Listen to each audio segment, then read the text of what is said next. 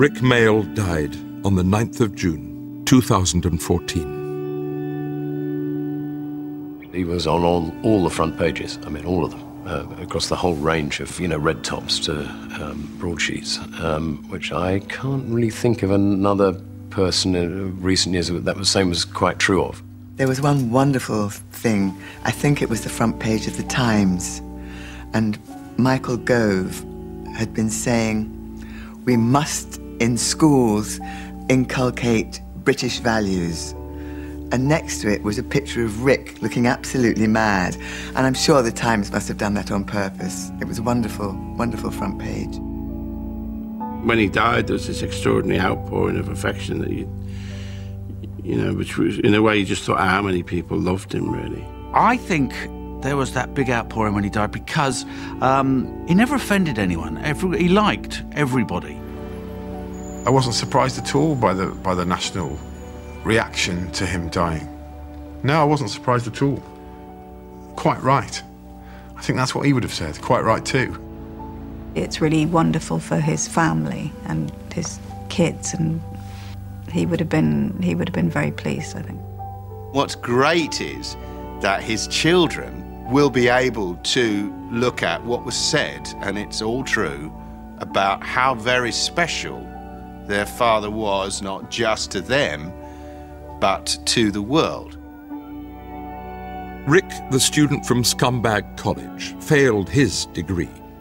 But 20 years later, Rik Mayall, the man, was awarded an honorary doctorate by the University of Exeter.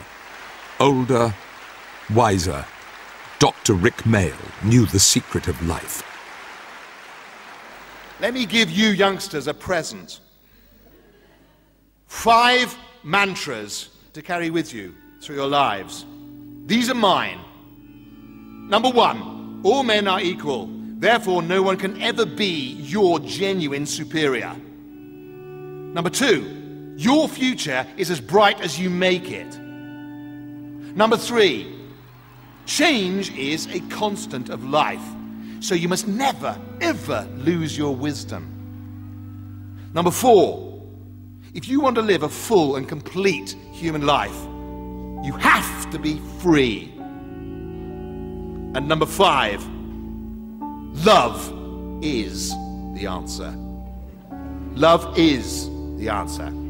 Bon voyage!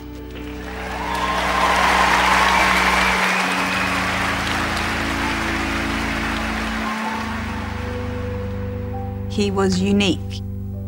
People like Rik don't come along very often.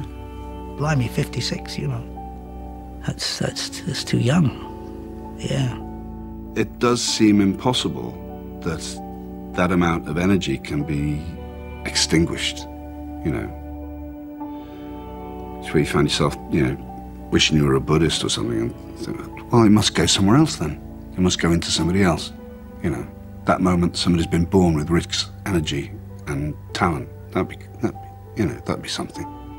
Last time I saw him properly, properly was at a birthday party, and he was just very funny and very charming. He wanted to work, he was pitching ideas, you know. He wanted, he wanted to do an interracial cop buddy movie where everybody thought we were gay.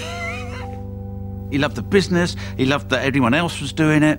He loved the fact that, you know, it was a means of making money. It was just like he was in this sort of complete heaven where he could express himself so faultlessly and so naturally and just be very, very successful at it. It was just like every day was a joy when he woke up. It was amazing.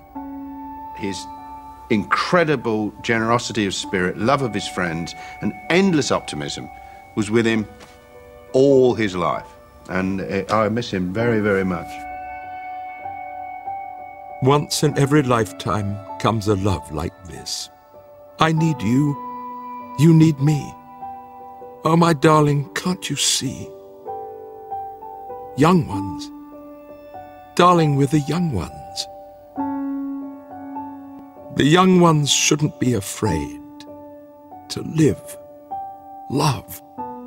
There's a song to be sung because we may not be the young ones very long.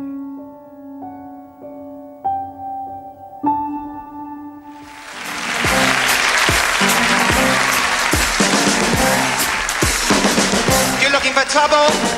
You've come to the right place. If you're looking for trouble, just look right in my face. I was born standing up and talking back. My daddy was a piece of real, real because I need.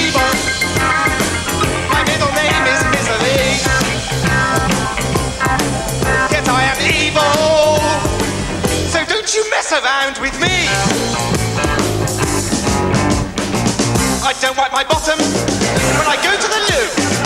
I'm rude to policemen and I pick my nose too. There's no stopping me. I'm bloody mad. I smoke marijuana